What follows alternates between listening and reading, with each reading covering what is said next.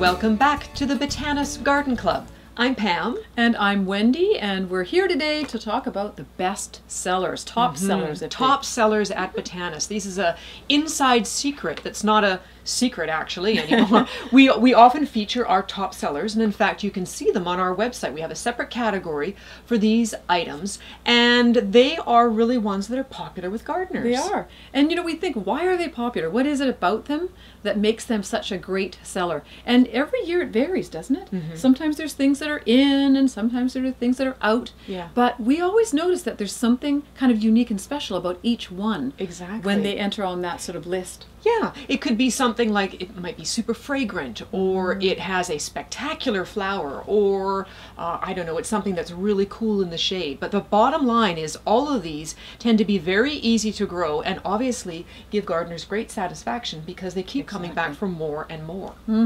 And we wanted to kind of feature a few of them just so you would know what it is that about them that's so special. Mm-hmm. The first one I love, love, love is Acidanthera bicolor murielae. Yes. Now I know that's been your favorite for many Oh years. yeah, I talk about it a lot, I do too. and I, I try to push it on so many people, and I and I really hope that if you haven't grown these, that you really do try them.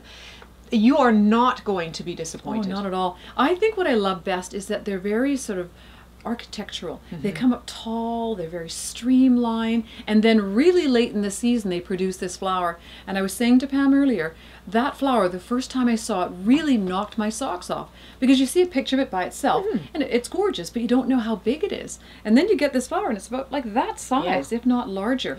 And boy, oh boy, Mm-hmm. as you have often said, it's like baby powder and suntan lotion combined, the fragrance. And it may sound weird, but it actually smells fantastic. It really does. It's, it's not an overpowering scent. It's a very light, light scent. And the thing is, we often sell them in large uh, package Mm-hmm. quantities, about 25. They're, they're relatively inexpensive, and you get such a bang for your buck or a blooms for your buck because there's so many flowers produced. It's not just one flower No. per stem. There's multiple blooms, and they sort of come one after another.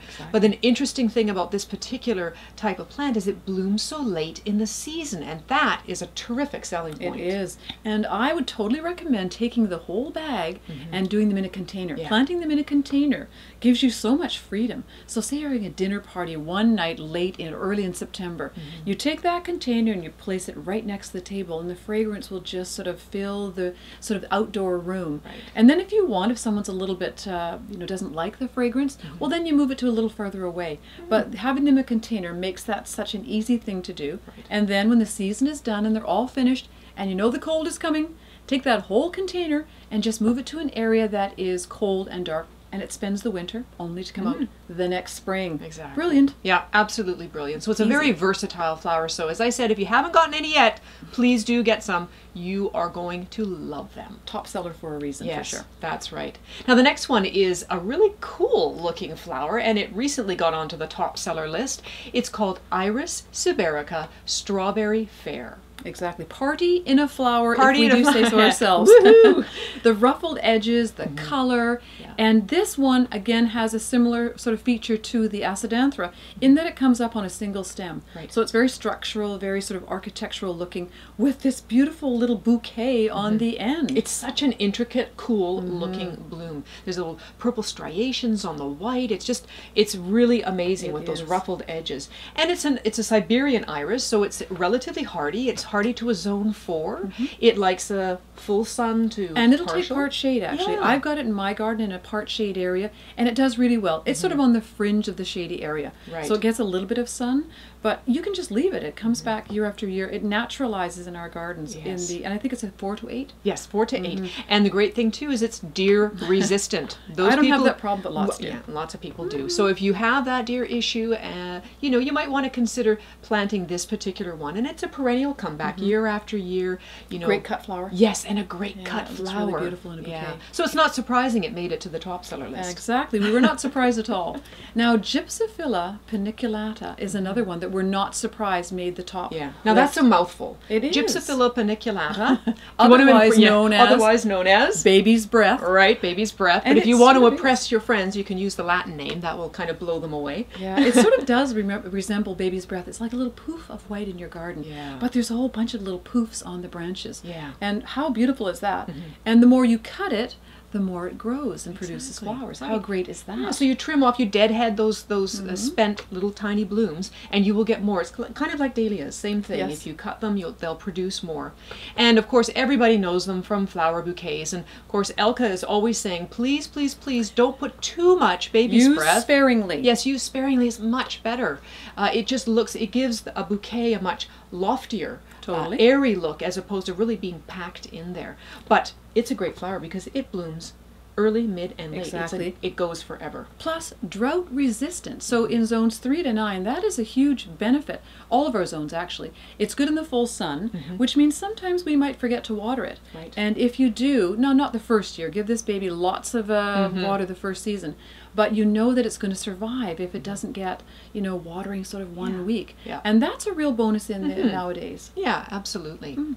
Now, the next one is a favorite of mine in, in terms of plant plants in general is the asters, and this one is called crimson brocade.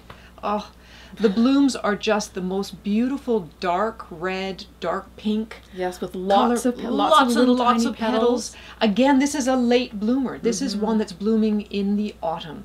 And anyone who wants to enjoy their garden for the full season, from early spring all the way through to the end of September, beginning of It's the way to October, go. it's the way to go. Plus, it's a bee magnet, and I know that we're super conscious about this. Mm-hmm. Yeah. If you want to have something to attract the bees all season long, Mm-hmm. then you plan your garden so you have some things for them to have for food in the very beginning. Mm-hmm. And in the middle, and now towards the end. And this little bee magnet will do that. And as a beekeeper, I can tell Mm-hmm. you the bees are looking for food in the fall, especially if we've had a very hot summer, which has been happening in some parts of the country. A lot of flowers are spent really, really early, and the bees have to forage even further to find food. So if you can provide late bloomers in your garden that are bee friendly, you are doing not only your garden a great thing, but you're doing the bees a great thing. They will love you for it. And that's zone four to eight, so that means a lot of us can grow it, which is really Mm-hmm. and it makes this beautiful mound. Yeah. I love that too. It's kind of its own sort of topiary. It's it's It it's is. beautifully shaped, absolutely mm-hmm. gorgeous.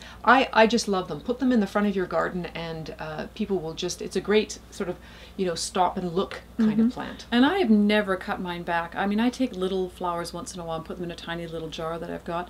But when I finish up with those asters, I leave them in the garden to completely die back mm-hmm. and go brown. And they produce that lovely little sort of delicate seed head that the birds love to go to in the, the uh, wintertime. And it looks nice. You don't have to cut it right back to the Yeah. ground. It eventually falls back and sort of mulches itself, which I mm-hmm. love. Well, our mm-hmm. final top seller that we want to feature today and tell you all about is one again that made it to the list actually just this year, and it's called Kaveri, and it's an Oriental Asiatic lily, the only Oriental Asiatic that we carry. That's right. I think it was almost the first one on the market, mm-hmm. and it is so beautiful. So they combine combined all the best features of the Asiatic and the mm-hmm. Oriental. Mm-hmm. We love the Oriental for the fragrance and for the beautiful, light, delicate petals. But then that uh, Asiatic, those are striking colors with those very very mm-hmm. heavy sort of waxy petals. You get that combination together with the mm-hmm. fragrance, Yeah. and wow, mm-hmm. yellow, reddy, orange. It, it it packs a punch. It really does. And when you consider that you get seven flowers on average per stem, this is a real flower factory that's going to be blooming, you know, midsummer for you. And mm-hmm. you can use it as a cut flower, you can enjoy it in the garden. It's just a stunning bloom. And again, new to the list. So obviously it's new to the market and very, very popular. And it likes a full sun position, and it's three to five. Speaking of little bumble, little bees, three to five with mulch, and six to eight hardy, and that is just a wonderful, easy to grow plant for mostly all of us across the country. Exactly. Well, well, we hope that we have whet your appetite for all things popular. And again, as we mentioned at the beginning of the segment, if you're looking for the Botanus top sellers, you just need to go to our website and have a look. There is a category just for those, and there's many more than more Yeah. than what we've talked about We've just today. featured a few, which is right. And of course, if you're a regular viewer of the Botanus Garden Club, you know what's coming next. It's our giveaway draw. We always ask a question, ask you to email us the answer, and then we do a draw and give away some prizes. Now, this week's question is Wendy. It is what is the common name for Gypsophila paniculata? So hmm. send the answer to that to gardenclub at botanus.com and we're going to draw three lucky winners Right. and they'll get $10 gift certificates or gift cards Yes. each. I think that's pretty fantastic. It Maybe is. buy yourself a top seller. Yeah, that's right. You could buy yourself a top seller with that $10 gift card.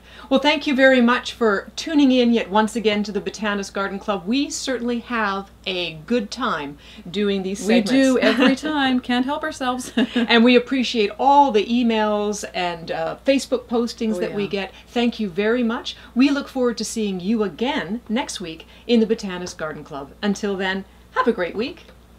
Bye for now.